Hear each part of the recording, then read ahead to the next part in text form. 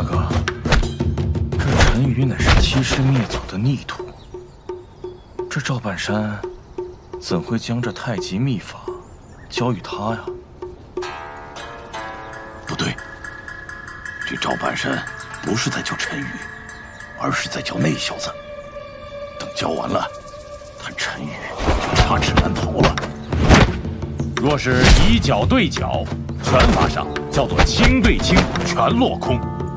必须以我之重击敌之轻，以我之轻避敌之重。是攻有守，逢闪必进，逢进必闪。全诀言道：打即攻，攻即打，进即闪，闪即进。若是攻守有别，那便不是上乘的武功。武功的劲力千变万化，力与力争，我欲来，你欲去，结果是大力制小力。以小力击敌人无力之处，方能成功。要让大力处处落空。我力虽小，却能胜敌。你听明白了吗？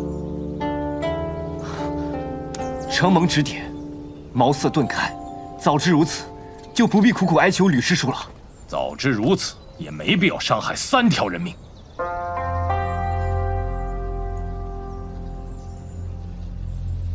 这两套拳诀，我传于你。如何使用？想必你还没有理解吧，